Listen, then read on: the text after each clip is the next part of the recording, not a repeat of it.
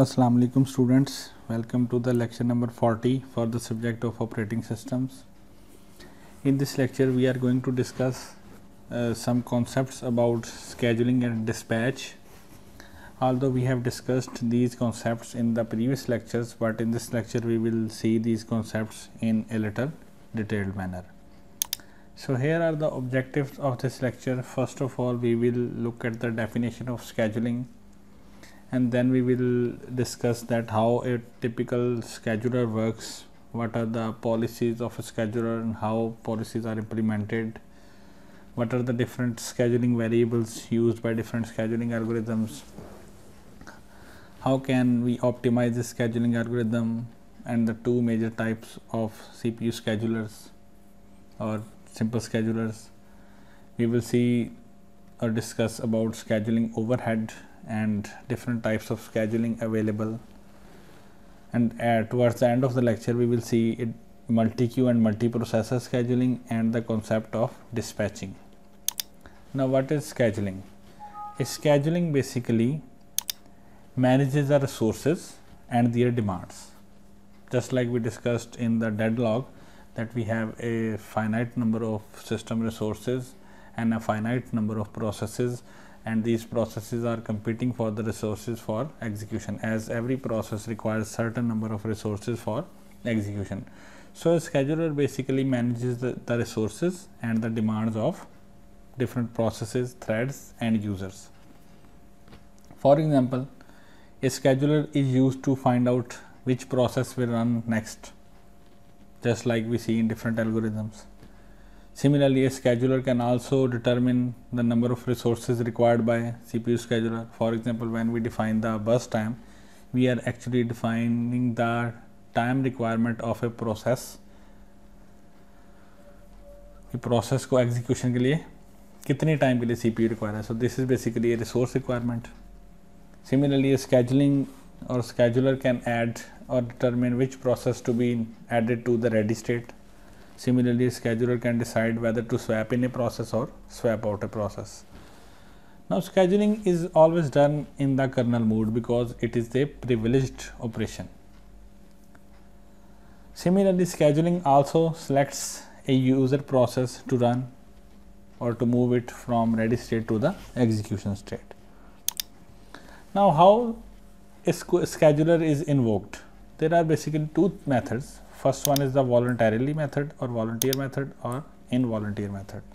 Now, what is volunteer method or voluntarily method? In this, a process releases or indicates a scheduler or alerts a scheduler to select a new one on its own. For example एक process input and output activity के लिए blocking state में चला गया so जैसे ही process blocking state में जाता है ये स्केजुलर को एक सिग्नल भेजता है और स्केजुलर क्या करता है नेक्स्ट प्रोसेस को एग्जीक्यूट करना स्टार्ट कर देता। है for example first come first serve and S C F non primitive in first come first serve we saw that a scheduler selects a process and starts its execution. And whenever the process completes its execution, it signals the scheduler that it has finished its execution and upon the receive upon receiving the signal the scheduler picks up the next process so this is basically volunteer scheduling now what is involunteer or involuntarily working in this type of scheduling preemption is performed अब अब अगर आप प्रीम्पशन की definition देखें तो हमने पहले भी डिस्कस किया है कि प्रीम्पशन में कभी भी एक रनिंग प्रोसेस सिग्नल नहीं करता, बल्कि एक इनकमिंग प्रोसेस की वजह से हम किसी प्रोसेस को स्टॉप करते हैं और न्यू को स्टार्ट करते हैं। And now the preemption is done by the algorithm जैसे प्रायोरिटी स्केजुलिंग प्रीमटिव है एस आर टी एफ़ है राउंड रॉबिन है। So whenever this type of scheduling occurs the kernel cause the scheduler to take the necessary action यानी कि kernel ये decide करता है या ये उस स्केजुलर को इंडिकेट करता है कि उसने करंट प्रोसेस को एग्जीक्यूट करते रहना या नए प्रोसेस को एग्जीक्यूट करना so this is how scheduler is invoked now what is the scheduler policy ideally a process scheduler must be selectable that we can have a bunch of schedulers in our operating system and we can select the scheduling algorithm to be use similarly scheduling algorithm could be changeable so that we can develop any hybrid scheduling algorithm and implement it in our operating system. Although you can do it in different operating systems as well. But practically, schedulers are built in operating system. Windows has a priority scheduling algorithm. Similarly, Linux has a specific scheduling algorithm. Mac OS has its own scheduling algorithm. Similarly, Android has its own scheduling algorithm that is built in. However, different versions of an operating system may have different scheduling algorithms. Additionally, scheduler must act as a resource manager so that it can look after the resources to avoid deadlock so that it can act as an deadlock manager also. Now how scheduling is controlled? First thing is that we can use an interval timer to control the scheduling. For this we can use the time quantum. The time quantum may be static or dynamic. We discussed that if we have a fixed value that we used in the round robin scheduling algorithm, we can say that it is static time quantum and similarly we can use any mathematical or statistical formula for calculating the time quantum. So when this happens every time a process is preempted the time quantum is again calculated. So this is basically a overhead. Now scheduling is also controlled via different policies like execution of the interactive processes in RR scheduling, executing batch tasks like FCFS and execution of real-time applications like priority scheduling algorithm as we use in Windows. So basically different policies के through हम किसी scheduling algorithm को control कर सकते हैं interval timer के through control कर सकते हैं Now, how these policies are implemented? Each algorithm has a mechanism behind its working, and this mechanism is fixed. जैसे अगर आप फ़र्स्ट कम फ़र्स्ट सर्व की बात करें तो उसका मैकेनिज्म क्या है कि जो जॉब पहले मेमोरी में आएगी, उसको पहले पिक कर लेगा एस की बात करें तो उसका मैकेनिज्म क्या जो शॉर्टेस्ट बस टाइम की जॉब है, उनको पिक करेगा प्रायोरिटी स्केजुलिंग की बात करें तो ऐसे प्रोसेस जिनकी प्रायोरिटी हाई है, उनको पिक करेगा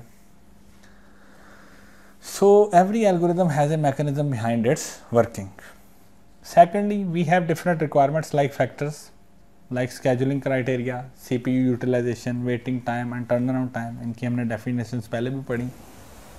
So, these policies are used for implementing any algorithm. जैसे कि कुछ एल्गोरिदम सीपीयू यूटिलाइजेशन को बेटर करने के लिए यूज़ होते हैं जस्ट लाइक आर आर कुछ एल्गोरिदम्स वेटिंग टाइम को रिड्यूस करने के लिए यूज़ होते हैं, जैसे कि एस आर टी एफ़ या एस सी एफ़ कुछ एल्गोरिदम जो हैं वो फेयर शेयर स्केजुलिंग के लिए यूज़ होते हैं, जैसे R R scheduling similarly what is the control to to fairly execute different jobs और to share the C P O resources fairly among different jobs some scheduling algorithms provide favor to short job, shorter jobs. Some provide favor to larger jobs.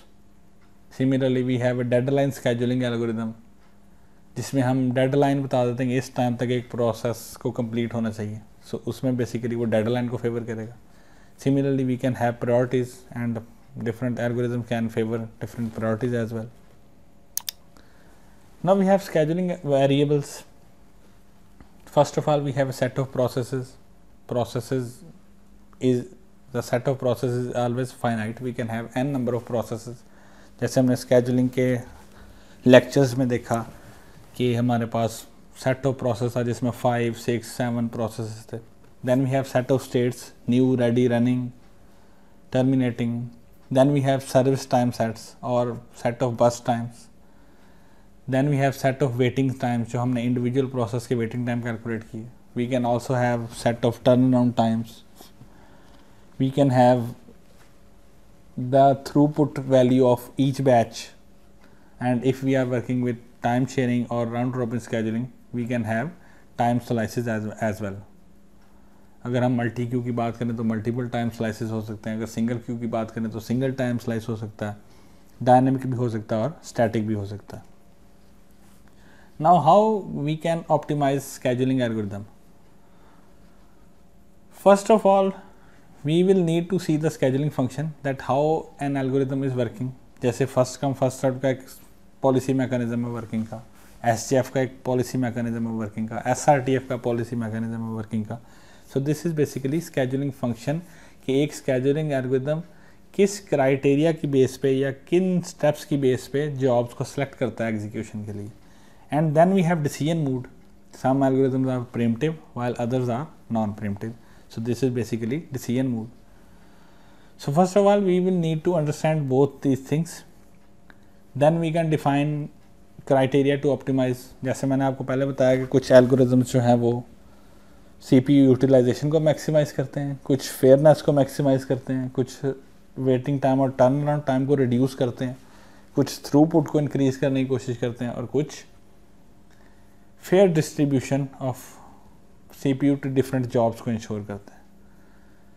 So we can have different number of methods we can restrict the number of processes we will need pre determination of service time जैसे हमने हर algorithm में सबसे पहले एक process का burst time बताया, जिसकी base पे हमने एल्गोरिदम्स को अंडरस्टैंड किया। And then we run different algorithms on a single process set, and we can decide which algorithm was the best. And this will depend upon the scheduling criteria. Now there are two major types of schedulers. First one is the non-preemptive and the second one is preemptive.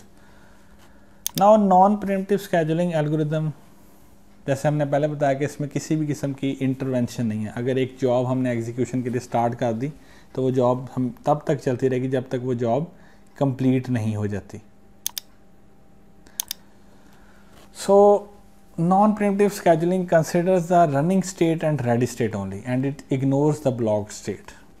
Example are FCFS and SGF non-primitive and non-primitive uses simplified scheduling that a process is newly created, process goes to the ready queue, the scheduler schedules the process and executes the process and after the execution process is terminated. So, you are, you don't see the waiting state or the waiting IO waiting event in this context.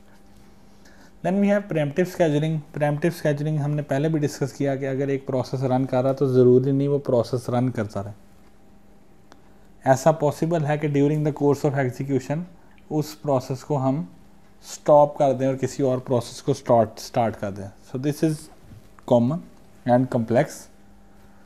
Now why it is common? Because it dynamically reduces the waiting time and average turnaround time. But it can give rise to the starvation problem.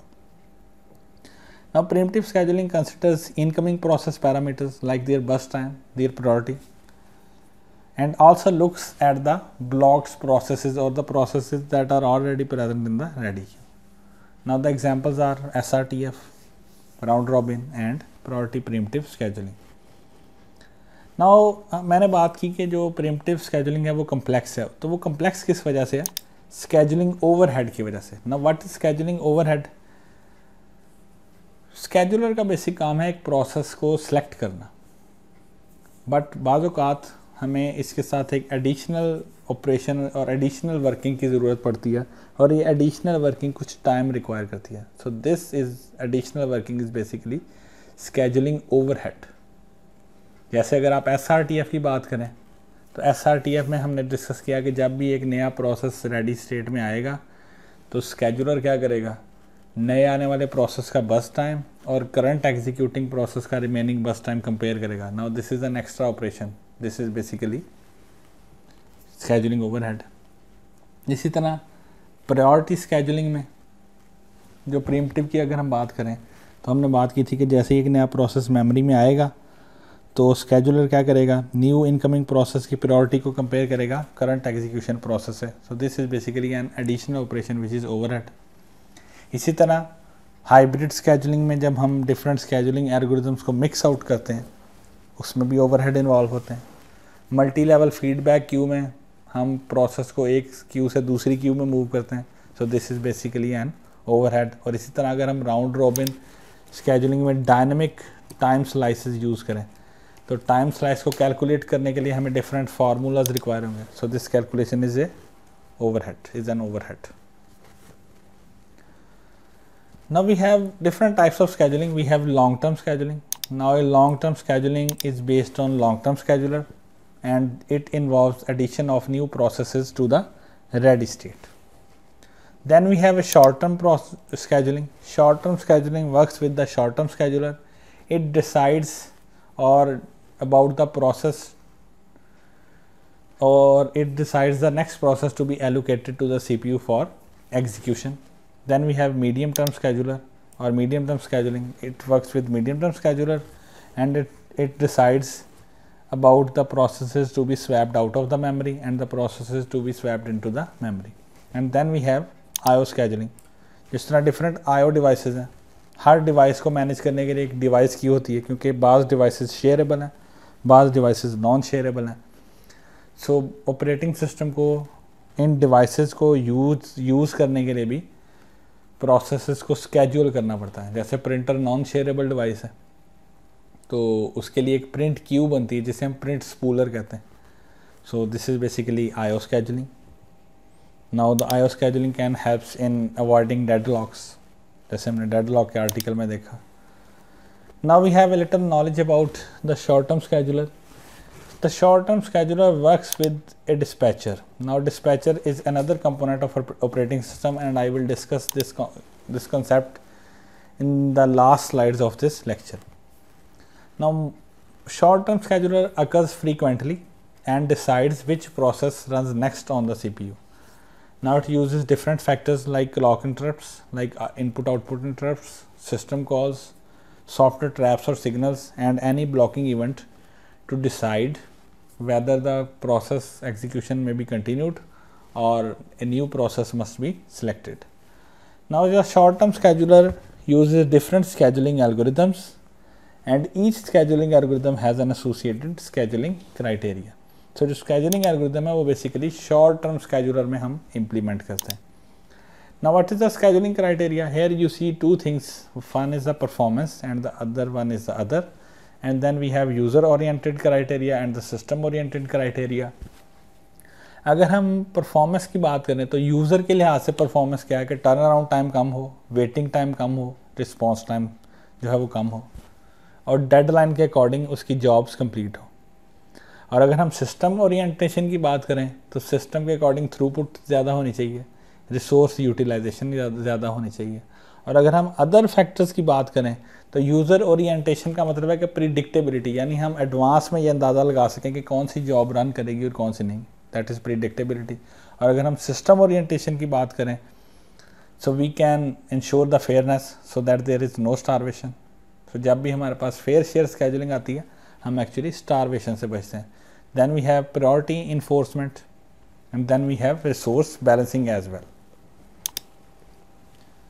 Now how short-term scheduling works on a multiprocessor system. In a multiprocessor system we have multiple CPUs or multiple processors. So we have four things to look at. First one is the load sharing.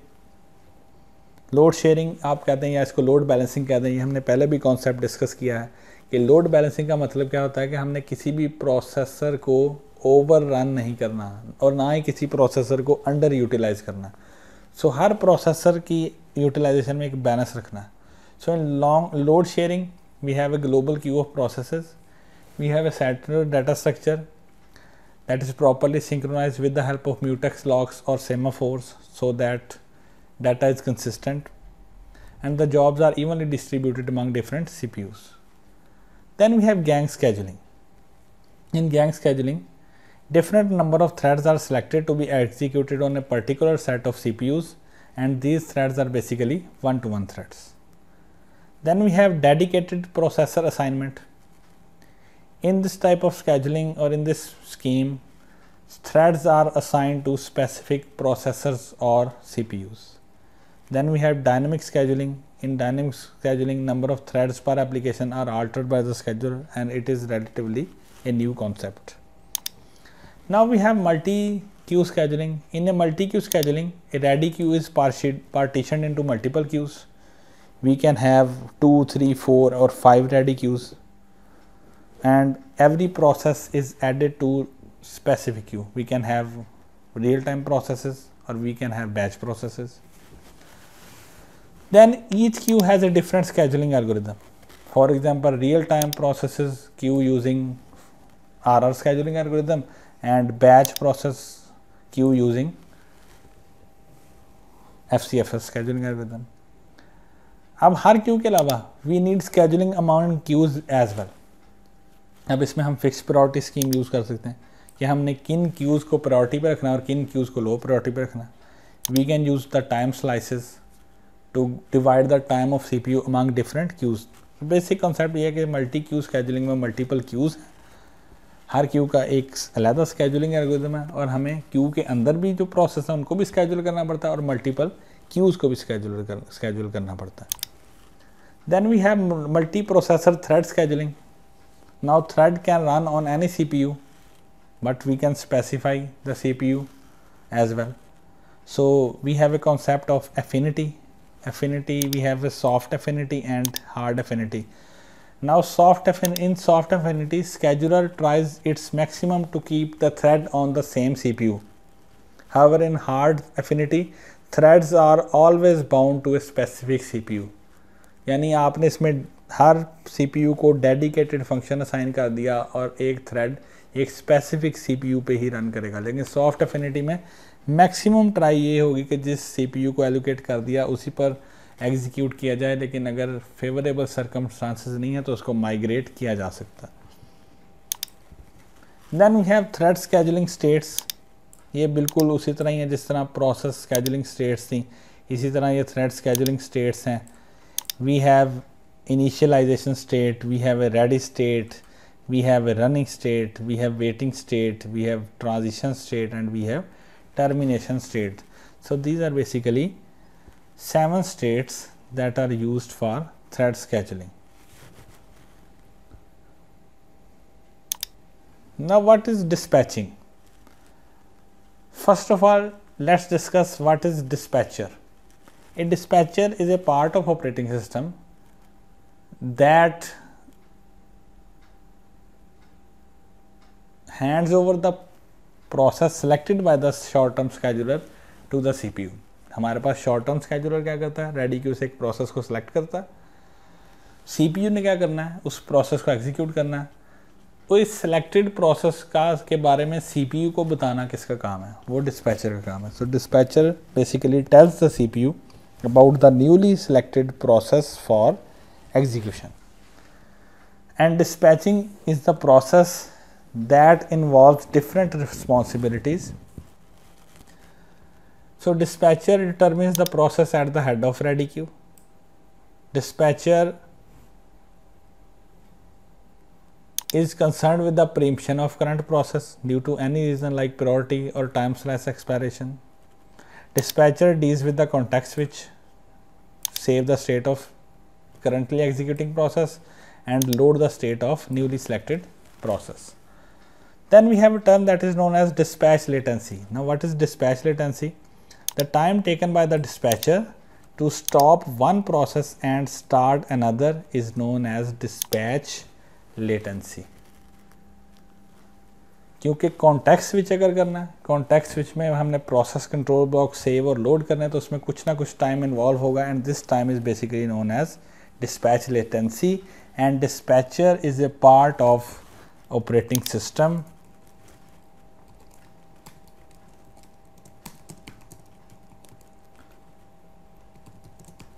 and works with short term scheduler. Dispatcher को long term scheduler या medium term scheduler से concern नहीं है. Dispatcher short term scheduler के साथ combination में working करता है. यानी short term scheduler process select करता है और डिस्पैचर सीपीयू को उस प्रोसेस के बारे में बताता है. तो इसकी हम डेफिनेशन लिख सकते हैं. Tells CPU about the newly selected process for execution so, ये basically हमारे पास dispatcher की definition है so these were some common topics related to scheduling and dispatch I hope कि आप लोगों को ये समझ आ गए होंगे